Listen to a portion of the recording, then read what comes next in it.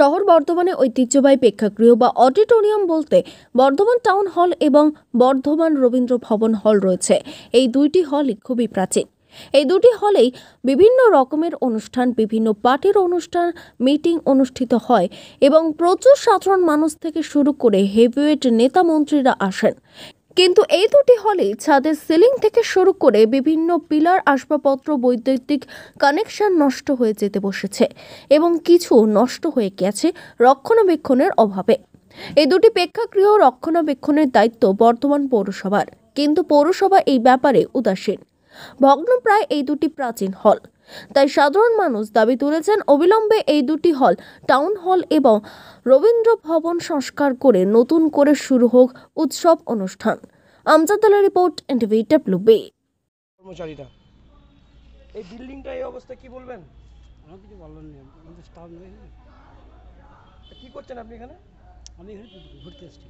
ঘুরতে এসেছেন। যদি এটা হুড়মুড়ি আপনার উপর পড়ে যায় সে তো বিপজ্জনক হবে। বিপজ্জনক হবে? তো এই বিল্ডিংটা যে অবস্থা আপনাকে কি ভালো লাগছে বিল্ডিংটার জন্য দেখে? ভালো লাগেনি এখন এটা ব্যবস্থা কি করবে জানি না। কিছু জানেন না আপনি? না আচ্ছা। কি নাম আপনার? কোথা থেকে আসছেন? আমি বাড়ি এখানে কোথায় বাড়ি? আমি খণ্ড বস খন্ড এখানে কি করতে এসেছেন? আমি বেড়াতে এসেছি। একটু কাকা বাড়ি এসেছিলাম বেড়াতে এসেছি। ঘুরতে এসেছেন?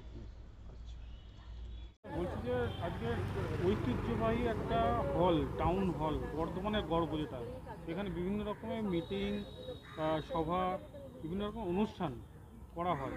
তো আজকে সেই টাউন হল আজকে ভগ্নদশা কারোর কোনো হেলদোল নেই, কি বলবেন? এটা পৌরসভার অধীনে আছে। পৌরসভা নিশ্চয়ই উদ্যোগ নেবে একটু প্রচার করলে। বর্তমান পৌরসভা এর উদ্যোগ নেবে। পৌরসভার আন্ডারই আছে। বহু ঐতিহ্যবাহী নেতাজি সুভাষ বোস এখানে এসেছিলেন এবং আরও অনেক রাজনৈতিক বক্তা এখানে বক্তব্য রাখেন, আসেন। আমি বয়স্ক ব্যক্তি, ছোটবেলা থেকে এখানে আসছি। এই শহরেরই বাসিন্দা, আদি বাসিন্দা এবং এই সদরেরই বাসিন্দা। আমার খুবই পরিচিত এই টাউন হল ময়দান এবং ছোটবেলা থেকে আমার স্মৃতি বিজড়িত এই ময়দানে। আমার স্মৃতি জড়িয়ে আছে এই ময়দানের সঙ্গে। আমি এখানে ছোটোবেলায় আসতাম এবং বসতাম। কলেজ লাইফে এসেছি। আজকে বৃদ্ধ বয়সে এখনও আসছি। যখন তখন যা অবস্থা যখন তখন যদি কিছু ভেঙে পড়ে যে কোনো মানুষ তো আহত হতে পারে। কোনো অনুষ্ঠান চলাকালীন। এখনও পর্যন্ত কোনো উদ্যোগ নেওয়া হয়নি সেরকম সংস্কারে এর ভিত এর মাটির তলার ভিত অনেক গভীরে আছে। ইটের ভিত ঢালাইয়ের বর্তমান দিনের ভিত নয় এবং খুব চওড়া করে মজবুতি আছে। এর ওপরে একটু পৌরসভা মেরামতি করলি এটা এখন বহুত দিন যে থাকবে। এই বিল্ডিং এখন অনেক দিন কাজ দেবে। এর ওপর অল্প মেরামতি করলি। আমার নাম পুরঞ্জয় বোস। বড়নীলপুর মোড় বাড়ি। ফাটল অসংস্কারে ভুগছে কি বলবেন? অ্যাকচুয়ালি এইটা যে এতদিন ধরে এইভাবে পড়ে আছে সরকারের এদিকে একটু দৃষ্টি দেওয়া দরকার ছিল। বিশেষ করে যেহেতু এটা পৌরসভার আন্ডারে বর্ধমান পৌরসভার আন্ডারে এটা তো ভাবা উচিত ছিল এখানে যে সমস্ত মহাপুরুষরা এসেছেন। হ্যাঁ তাদের সেই জায়গা থেকে আমার মনে হয় জায়গাটাকে আরও ভালোভাবে সংস্কার করা উচিত। কারণ এটা আমাদের ঐতিহ্য দীর্ঘদিনের ঐতিহ্য। তাই আগামী দিনে এটাকে সংস্কার করা হবে এই আশা আমরা রাখছি। বর্ধমানবাসীর হিসেবে এটা আমাদের দাবিও বলতে পারেন এতটা।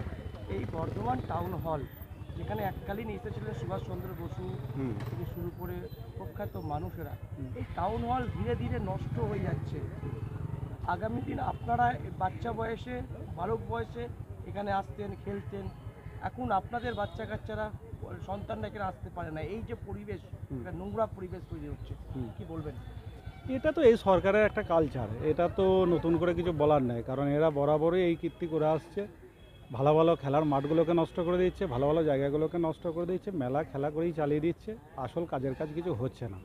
তাই আজকে বর্ধমান যে টাউন হল সেটারও কিন্তু সেই একই অবস্থা। তাই আগামী দিনে আমাদের বারবার এটাকে দাবি থাকবে যে বর্ধমান টাউন হলকে সংস্কার করা হোক এবং বর্ধমান টাউন হলকে প্রত্যেকের জন্যে খুলে দেওয়া হোক। প্রত্যেকের জন্যে তাদের বাচ্চা কাচ্চারা যেটা আসছে তাদের জন্য একটা সুস্থ পরিবেশ রাখা হোক এখানে। আমি তনয় কুমার মণ্ডল। আমি বর্ধমান বিজেপির জেলা সম্পাদক।